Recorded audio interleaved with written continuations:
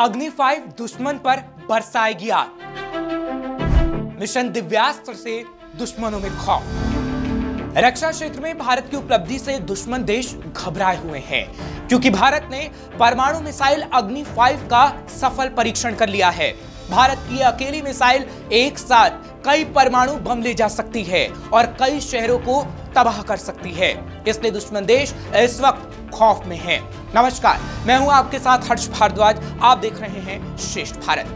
अग्नि five missile वो दिव्यास्त्र है जो भारत को सुरक्षित रखेगा और दुश्मन देशों के लिए काल साबित होगा, क्योंकि भारत ने अग्नि फाइव मिसाइल का सफल परीक्षण कर लिया है। और अग्नि फाइव मिसाइल की इतनी खासियतें हैं कि इसे दिव्यास्त्र भी कहा जा रहा है।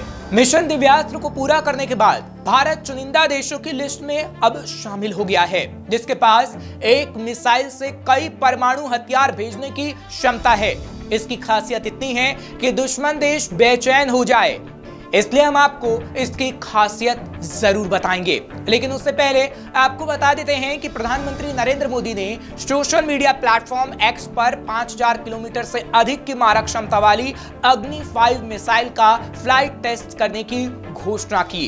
यानी दुनिया को यह बताया कि भारत रक्षा क्षेत्र में कैसे आगे बढ़ रहा है और कैसे ये मिसाइल दुश्मनों के लिए काल साबित होने वाली है। वहीं सफल टेस्ट के साथ ही भारत दुनिया के उन चुनिंदा देशों की सूची में शामिल हो गया है, जिसके पास एमआईआरवी तकनीक से लैस मिसाइल है। एमआईआरवी तकनीक का ये टेस्ट ये भी खुलासा करता है कि भारत अब छोटे छोटे परमाणु बम बनाने में सफल हो गया है। एम तकनीक का मतलब है कई परमाणु हथियार ले जाने वाली एक मिसाइल जो हर हथियार, यानी छोटे छोटे परमाणु बम को अलग अलग गति से सैकड़ों किलोमीटर दूर अलग अलग लक्ष्य को भेदने के लिए प्रोग्राम करती है और दुश्मन के किले को ध्वस्त कर देती है। और भारत की यही छोटे छोटे एटम बम चीन और पाकिस्तान में प्रलय ला सकते हैं। और इसी वजह से भारत के इन दोनों ही दुश्मनों की नींद उड़ी हुई है। ये मिसाइल न केवल परमाणु प्रलय लाने में सक्षम है, बल्कि दुश्मन के बैलिस्टिक मिसाइल डिफेंस सिस्टम को भी चकमा देने में पूरी तरीके से सक्षम है। इसलिए इस वक्त सबसे ज़्यादा चर्चा एमआईआरवी तकनीक की हो रही है। दरअसल एमआईआरवी तकनीक, यानी multiple independently targetable re entry vehicle तकनीक यह एक ही मिसाइल के अंदर छोटे छोटे परमाणु वॉरहेड को फिट करती है। इसमें छोटे छोटे परमाणु बम की संख्या चार, पाँच या छह भी हो सकती है।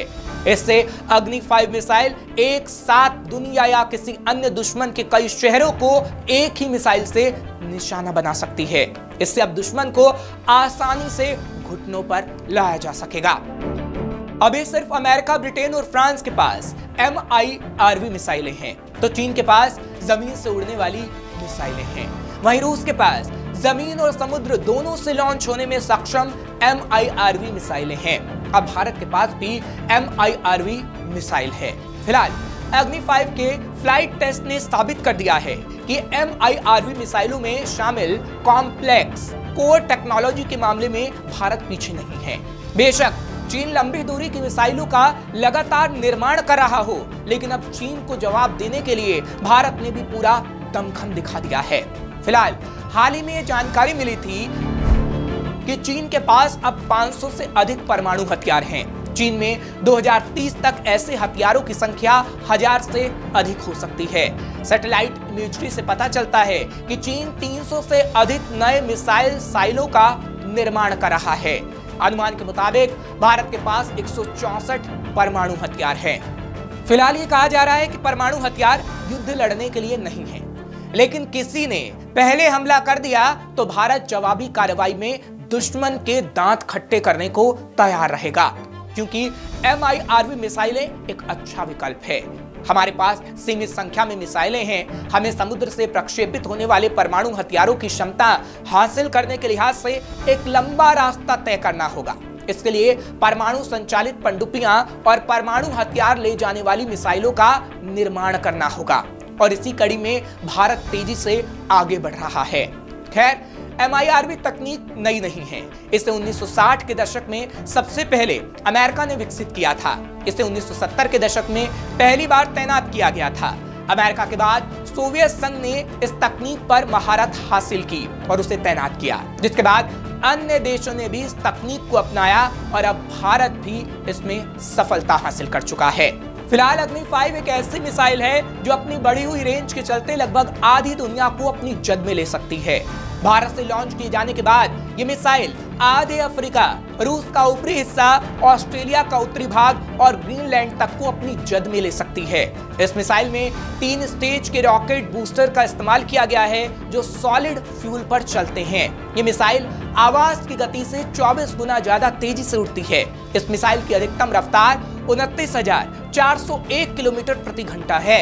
दुश्मन पर सटीक वार करने के लिए इस मिसाइल में laser, gyroscope, inertial navigation system, GPS और सैटेलाइट गाइडेंस सिस्टम इस्तेमाल किया गया है। फ़िलहाल, अब तक अग्नि सीरीज़ में अग्नि वन, अग्नि टू, अग्नि थ्री, अग्नि फोर और अग्नि फाइव मिसाइलें विकसित की जा चुकी हैं। इसमें अग्नि वन पहली जनरेशन की मिसाइल थी, जिसकी रेंज 700 से 800 किलोमीटर की थी। इसके बाद अग्नि टू विकसित हुई, जिसकी रेंज 2000 किलोमीटर से अधिक हुई। अग्नि थ्री की रेंज 2500 किलोमीटर तक हुई, जिसके बाद अग्नि फोर की रेंज को बढ़ाकर 3500 किलोमीटर तक कर दिया गया।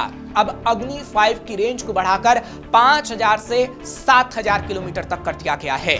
सही मायनों में समझे तो अग्नि फाइव मिसाइल की कामयाबी ने पाकिस्तान को कम बल्कि चीन को बुरी तरीके से हिलाकर रख दिया है।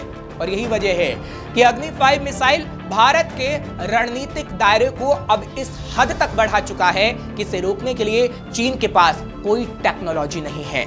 और भारत के दमखम को अब पूरी दुनिया समझ चुकी है। फ़िलहाल ऐसी और खबरों के लिए आप देखते रहिए श्रेष्ठ भारत।